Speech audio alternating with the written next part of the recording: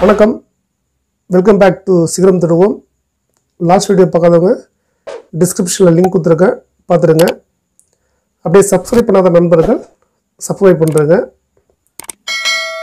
இந்த வீடியோவில் difference between axial and radial vibration அதாவது ஆக்சல் வைப்ரேஷனுக்கும் ரேடியல் வைப்ரேஷனுக்கும் உள்ள வித்தியாசத்தை நம்ம பார்க்க போகிறோம் ஸோ இதனுடைய டிஃபென்ஸை நம்ம பார்க்கறது மூலமாக நிறைய விஷயங்களை நம்மளால் அண்டர்ஸ்டாண்ட் பண்ணிக்க முடியும்.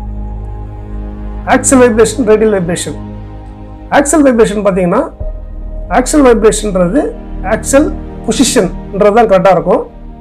ஸோ வைப்ரேஷனால் அந்த பொசிஷன் ஃபார்வர்டில் மூவ் ஆகுதா இல்லை பேக்வேர்டில் மூவ் ஆகுதான்றத சொல்கிறது தான் இந்த ஆக்சல் பொசிஷன் ஸோ பரவாயில்ல ஆக்சல் வைப்ரேஷன் சொல்கிறதுனால நம்ம ஆக்சல் வைப்ரேஷன்றதை இங்கே நான் மென்ஷன் பண்ணியிருக்கேன். So axial position axial vibration axial displacement vibration displacement vibration thrust vibration so இது எல்லாமே வந்து பார்த்தீங்கன்னா சேம் தான். கன்ஃபியூஸ் ஆக வேண்டாம்.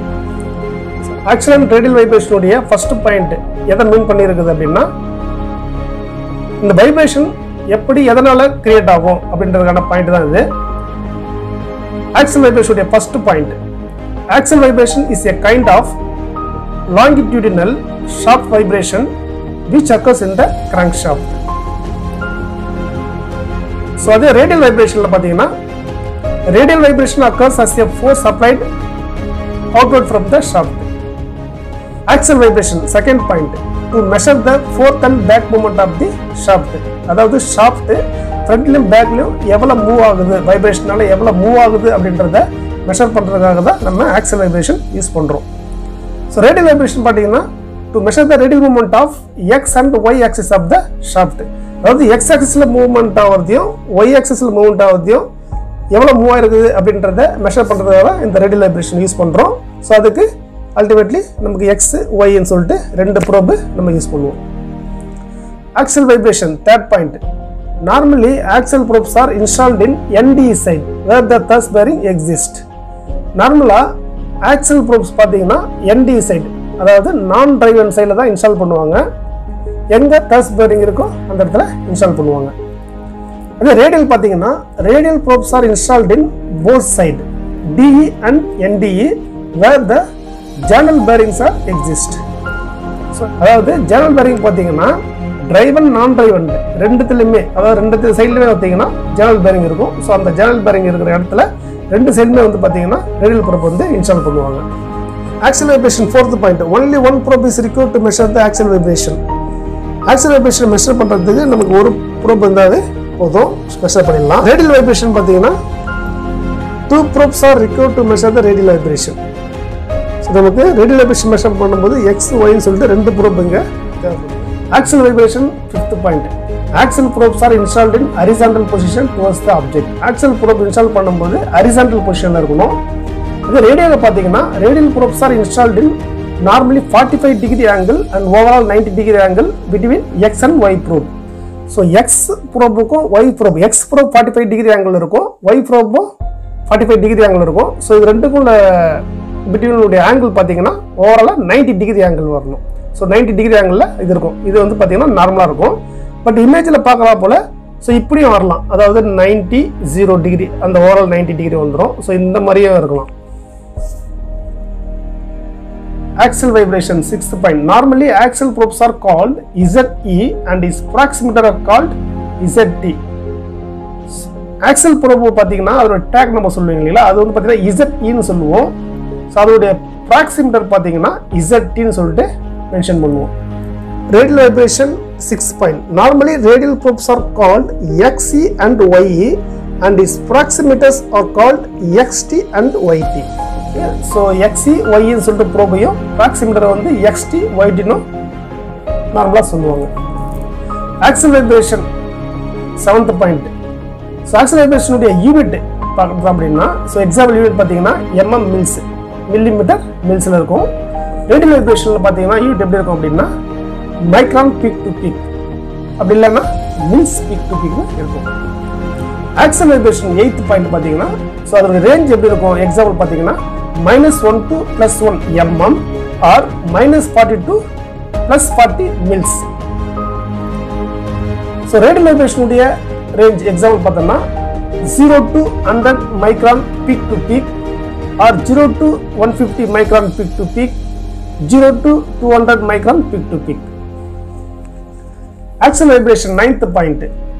0 is normal and above or below zero is abnormal so இங்கே ஜீரோன்றது வந்து நார்மலாகும் ஸோ ஜீரோக்கு மேலே இருந்தாலும் நமக்கு அப்நார்மல் ஜீரோவுக்கு கீழே இருந்தாலும் அதாவது நெகட்டிவ்ல இருந்தாலும் நமக்கு அப்நார்மல் ரேடியல் வைப்ரேஷனில் பார்த்தீங்கன்னா zero is normal and above zero is abnormal so இங்கே பார்த்தீங்கன்னா நெகட்டிவ்ன்றது அதாவது பிலோன்றது வராது. ஸோ எல்லாமே அபோவ் தான். ஸோ ப்ளஸில் தான் ரீடிங் இருக்கும். ஸோ ஜீரோன்றது நார்மல் ஜீரோக்கு மேலே வந்து பார்த்தீங்கன்னா நமக்கு abnormal axial vibration tenth point இதுக்கு gap voltage negative volt DC நார்மலாக பார்த்தீங்கன்னா எவ்வளோ இப்போ அப்படின்னா minus ten volt DC radial வைப்ரேஷன்லேயும் gap voltage negative volt DC தான். ஸோ நார்மலாக மைனஸ் டென் வோல்ட் டிசி தான். இங்கே வந்து கேப் வோல்டேஜ் நம்ம மெயின்டைன் பண்ணுவோம்.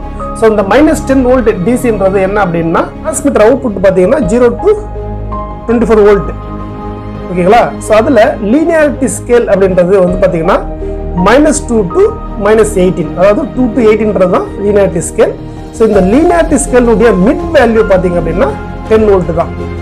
இந்த டென் வோல்ட்ன்றது ப்ளஸ் ஆர் மைனஸில் வந்து யூஸ் பண்ணிப்பாங்க.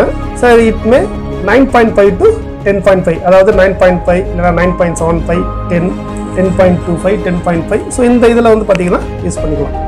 Axial eleventh point output negative volt DC axial output பார்த்தீங்கன்னா நெகட்டிவ் வோல்ட் டிசி ரேடியல் வைப்ரேஷனுடைய அவுட்புட் அது பார்த்தீங்கன்னா மில்லி வோல்ட் ஏசி ஆக்சல் வைப்ரேஷனில் கேப் வோல்டேஜும் அவுட்புட்டும் சேமாக இருக்குது ஆனால் ரேடியலில் பார்த்தீங்கன்னா gap voltage negative volt DC இருக்குது அவுட்புட் வந்து பார்த்தீங்கன்னா மில்லி வோல்ட் ஏசி இருக்குது ஸோ ரேடியல் வைப்ரேஷனுடைய அவுட்புட் வந்து பார்த்தீங்கன்னா மில்லி வோல்ட்டு ஏசின்றது தான் கரெக்டான answer axial vibration twelfth point non contacting eddy current probes are used அதாவது non contacting type eddy current principle work பண்ணக்கூடிய ப்ரூப் தான் யூஸ் பண்ணுறோம் ரேடியல் வைப்ரேஷன்லையும் அதே சேம் ப்ரூப் தான் யூஸ் பண்ணுறோம் vibration axial vibration thirteen point mechanical support is required to installed axial vibration install பண்ணோம் அப்படின்னா மெக்கானிக்கல் சப்போர்ட் வேணும். மெக்கானிக்கல் சப்போர்ட் இல்லாமல் நம்மளால் இன்ஸ்டால் பண்ண முடியாது. ஏன் மெக்கானிக்கல் சப்போர்ட் வேணும் அப்படின்னா soft floating test new to be done and is centre is positioned by mechanical team அதாவது சாஃப்ட்வுடைய ஃப்ளோட்டிங் டெஸ்ட் பண்ணிட்டு அதனுடைய சென்டரோட பொசிஷன் மெக்கானிக்கல் டீம் பொசிஷன் பண்ணதுக்கப்புறம் தான் நம்ம இன்ஸ்டால் பண்ண முடியும். ஸோ அது அவங்களுடைய சென்டர் பொசிஷன் தான் நம்முடைய ஜீரோ ஸோ ரேடியல் வைப்ரேஷன் பார்த்தீங்கன்னா mechanical support is not required to install can be installed with the reference of gap voltage இங்கே மெக்கானிக்கல் சப்போர்ட் தேவையில்லை. கேப் வோல்டேஜ் ரெஃபரன்ஸ் வச்சு நம்ம இன்ஸ்டால் பண்ணிக்க முடியும். Axial vibration fourteen point only static calibration is required அதாவது axial ப்ரோப்லாம் நம்ம calculation பண்ணுவோம் இல்லைங்களா? அதாவது டிகே த்ரீ கிட்ட வச்சு நம்ம கால்குலேஷன் பண்ணுவோம். ஸோ மைக்ரோமீட்டர் பேஸ் பண்ணி நம்ம கால்குலேட் பண்ணுவோம். கால்குலேஷன் மட்டும் இந்த ஆக்சல் பொறுப்புக்குலாம் போதும். ரேடியல் வைப்ரேஷனில் பார்த்தீங்கன்னா static and dynamic calibration both are required static and dynamic ரெண்டுமே இங்கே தேவைப்படுது. Vibration fifteen there is no role for keyphasor axial வைப்ரேஷனுக்கும் key பேசருக்கும் எந்த ஒரு ரோலும் எந்த ஒரு சம்மந்தமும் இல்லை. ஆனால் ரேடியல் வைப்ரேஷனில் சம்மந்தம் இருக்குது ஸோ ரேடியல் வைப்ரேஷனில் பார்த்தீங்கன்னா keyphasor serves as a zero phase reference for determining where the shaft is imbalanced. So keyphasor இங்கே எதுக்கு யூஸ் ஆகுது அப்படின்னா இந்த ரேடியல் வைப்ரேஷன் மெஷர் பண்ணும்போது கீ பேசர் இருந்தால் தான் நமக்கு சாஃப்ட் வந்து எங்கே இம்பேலன்ஸ் ஆகிருக்குதுன்னு சொல்லிட்டு எக்ஸாக்டாக அவங்களால் வந்து ஐடென்டிஃபை பண்ண முடியும். ஸோ இது வந்து பார்த்தீங்கன்னா கண்டிஷன் மானிட்டரிங் வந்து ரொம்ப ஹெல்ப்ஃபுல்லாக இருக்கும். இந்த அனலைசிங் பர்பஸுக்கு வந்து ரொம்ப ஹெல்ப்ஃபுல்லாக இருக்கும். ஆக்சல் வைப்ரேஷன் சிக்ஸ்டீன் பாயிண்ட் பார்த்தீங்கன்னா thrust bearing is used to protect axial vibration thrust bearing தான் வந்து பார்த்தீங்கன்னா இந்த ஆக்சல் வைப்ரேஷன் வந்து சேஃபர் ஜோனில் ப்ரொடெக்ட் பண்ணுது. ரேடியல் வைப்ரேஷனில் எது ப்ரொடெக்ட் பண்ணுது பார்த்தீங்கன்னா journal bearing is used to protect radial vibration இங்கே ரேடியல் வைப்ரேஷன் ப்ரொடெக்ட் பண்ணது பார்த்தீங்கன்னா ஸோ ரெண்டு பக்கம் இருக்கக்கூடிய இந்த ஜெனரல் பேரிங் தான் வந்து சேஃப் ஜோனில் ரேடியல் வைப்ரேஷனை ப்ரொடெக்ட் பண்ணுது. சரிங்களா? Okay friends, hope you like this video. If you like this video, subscribe and share to your friends so that they can also gain the knowledge. Until I will come back with the next short awesome video, it's bye from Kannan.